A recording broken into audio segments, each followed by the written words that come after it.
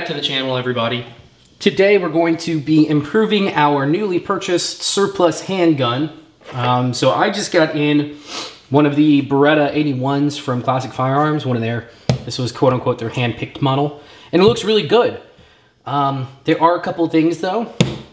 Uh, this gun you can see has import markings on the bottom and I can already have, I already tested this to show you what's gonna happen. Um, the magazine, obviously magazines are rough, so the mag's got some, some finish wear on it. Um, and then if you see the unboxing video that they did, whoever uh, imported these, whoever sent these for importation, just took all these guns, threw them in boxes, like cardboard boxes, stacked next to each other, and they just all digged into each other. So there's lots of wear on the on the, all the edges. There's the import mark. There's wear down here. So what we're gonna do is we are going to use some aluminum black to blacken up all those little marks and make this gun look eh, somewhat new again. This is already in good shape. This one in particular is already in good shape. But um, aluminum black only works obviously on aluminum. So this gun will be perfect. The frame on this is aluminum, so this will be a perfect uh, use for aluminum black. The slide, if you got dings on your slide, you can go and pick up like cold blue or something like that. And cold blue will work for little dings on the slide as well. But my slide is actually in very good shape. So we're just gonna take away, see how best we can take away the uh, import marks and get rid of some of the, the, uh, the chipping and stuff on the outside. So let's, let's bring you guys in real close and I'll show you what we're doing. So here's what you got. You can see that there are small little dings and chips and there's an import mark there. Um, down here, you can see the, the, the dings on the bottom there. So we're gonna go ahead and I'll show you how I would clean this up. I'm gonna do it, show you a couple of them, I'll, then I'll do the whole thing off camera and come back and show you what it looks like. So what you'll need, some sort of, hold on, let me zoom back out, zoom back out, there you go. Some sort of um, degreaser, isopropyl alcohol will work, or acetone should work pretty well. You will also need your blackening agent, so this is aluminum black. Um, if you're gonna be doing the slide, you'll probably need, make sure this is in focus, you'll probably end up needing um, a bluing agent, a little bit of quad steel wool, there you go. And um, I like using uh, Q-tips. Q-tips allow you to soak up a lot of that fluid and then put it where you need it. So focus back in on the gun and I'll start cleaning it up and showing you how we're gonna do this. So you can see some of the marks, like here, we'll say there. It's a nice bright shiny mark that you guys can see. It's really, really straightforward. Um, what you're gonna wanna do is take your steel wool and lightly, lightly rub that mark to kind of brush the finish back up.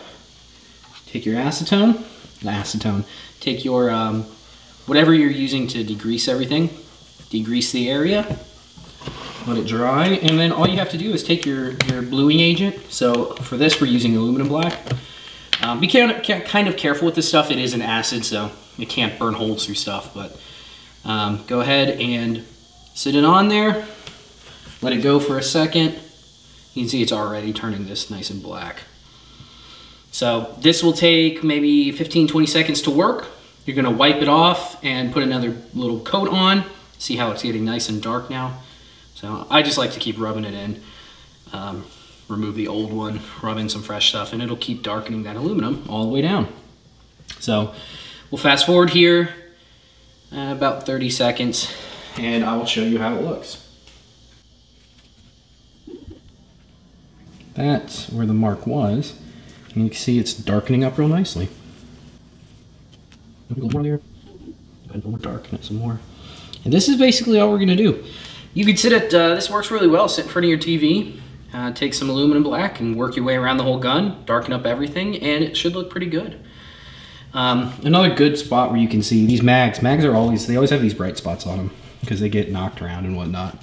But like um, up here, this whole area here is in the white. So we'll, we'll add some aluminum black to that. And you'll see it start bubbling. And, oh, sorry guys. You'll see it start bubbling and corroding the aluminum and darkening it for you. You can put a good drop on it. Man, I'm sorry, I keep hitting you guys because I'm trying to go under the camera. Like that, put a good drop on it and just let it sit and work. But anyways, we're gonna do the same thing. So while that's working, I'm gonna go around that whole thing by myself later.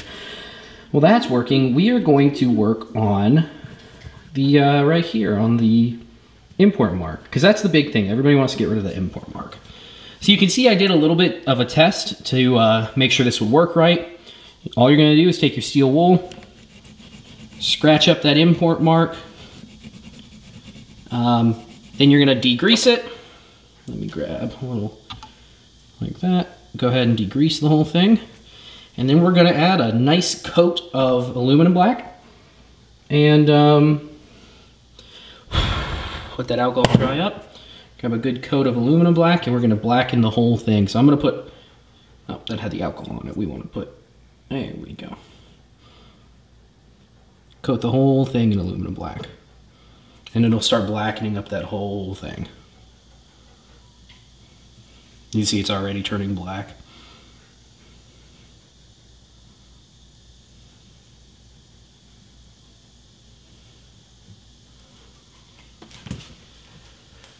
So like that, you can see it's bubbling and turning dark. Um, but anyway, so that's all we're gonna do. I'm gonna sit down off camera and try to complete this whole gun. You guys can see all the little dings and marks and spots back here on the, ooh, let me go out. You can see all the spots back here on the butt plate, but we're gonna go through, darken everything we can on this gun, and I'll show you what it looks like once we're done. And there we are, bada bing, bada boom. Nice and cleaned up. Um, all of the little chips and marks that were in here, all colored away. The logo itself, uh, let me see, make sure you guys can see that logo. That logo itself is fairly well hidden. Uh, the lights are gonna obviously catch it, so you're gonna read it no matter what, but um, in regular lighting, it's not very pronounced. You can see like that when I sit it down like that. Um, it disappears. All the marks over here are all gone. Um, we did all the back strap, the front strap, the mag well, and the mag, the base of the magazine. So that's pretty much it. Um, go out, get yourself some aluminum, alumihide or aluminum hide, whatever it's called, aluminum black, that's what it is. Grab some of that, you can get from Amazon. Um, or like your, your big fish store if you got one nearby. Um, but that's pretty much it. Clean your gun up, make it look nice and new again. Make it look shiny, especially for you guys that got some of the like the lower tier ones, the kind of the junkier ones. Um, you can clean them up real easy. It's aluminum frame. Clean those all those marks up and they're gonna look beautiful again. So next up, we're gonna be doing something cool. I'm not gonna do it on this video, obviously, but um, I'm waiting for some parts to come in so we can reload for this because 32 ACP is too damn expensive. But anyways, if you guys like this, give me a thumbs up. Um, if you are interested in this kind of content, you can subscribe. I'm trying to bring more and more out. It's yeah, it's been slow. This past month or so has been kind of slow for me, but we got some more stuff on the way. So subscribe if you want to see some really cool reloading, 32 ACP reloading experiments that I'm going to try. Um, but that'll be coming up soon. So I'll catch you guys later.